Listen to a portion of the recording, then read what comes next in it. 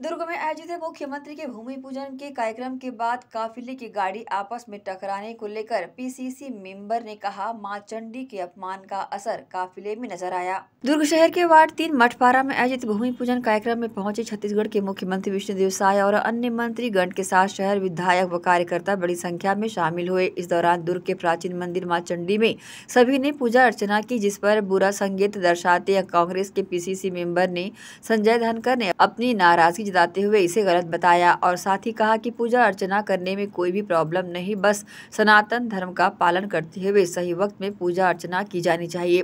साथ ही राजनीति के चक्कर में किसी भी देव शक्ति का अपमान करना गलत है। इसके साथ ही उन्होंने मुख्यमंत्री के काफिले के आपस में टकरा जाने का उदाहरण भी दिया। इस दौरान उन्होंने प्रतिक्रिया दी।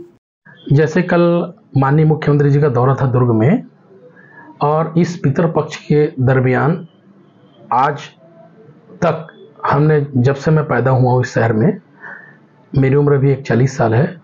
उससे पहले का माँ चंडी देवी का जो मंदिर है, वो दुर्ग शहर की शान है दुर्ग शहर की देवी है। सबसे पहले दुर्ग शहर के वासी माँ चंडी को अपना कुल देवी मानते हैं और हम सबसे पहले पूजा माँ चंडी से करते हैं। लेकिन चूँकि ये सरकार माँ चंडी से भी बड़ी हो गई है। यहाँ के विधायक को सोचना चाहिए, माननीय मुख्यमंत्री जी को सोचना चाहिए कि जो मंदिर विगत कई सालों से 50-60 सालों से दोपहर के 12 बजे चाहे वो नवरात्र हो, चाहे किसी भी समय हो, आज तक 12 बजे से 4 बजे तक मंदिर का कपाट बंद रहता है, चाहे प्रधानमंत्री आ जाए, चाहे दुनिया में कोई भी आ जाए। लेकिन इस बार माँ चंडी को अपमानित करके या माँ चंडी को छोटा बताकर जिस तरीके से तरीके से पितृपक्ष में दोपहर दरवाज़ा खोलकर पूजा अर्चना गर्भ में किया है, ये पूरी तरह से मेरे हिसाब से तो ये गलत है।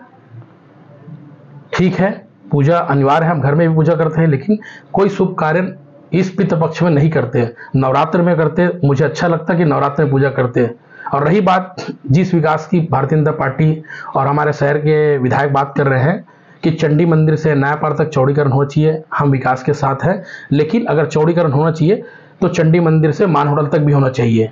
आखिर विकास के नाम में गरीबों का घर क्यों तोड़ा जाए? भाई काफिले में हादसा होना यह संकेत है।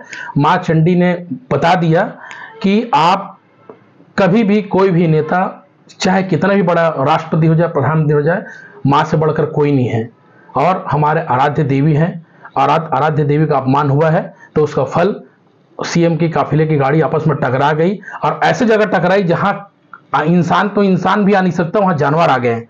तो ये सोचना चाहिए शहर के विधायक को और माननीय मुख्यमंत्री जी को सोचना चाहिए कि आज के बाद ऐसा कोई कार्यक्रम ना करूँ जिससे कि सामाजिक जनभावना को ठेस पहुँचे और हमारे आराध्य को ठेस पहुँचे। Sanjay Dhankar PCC member Chhattisgarh.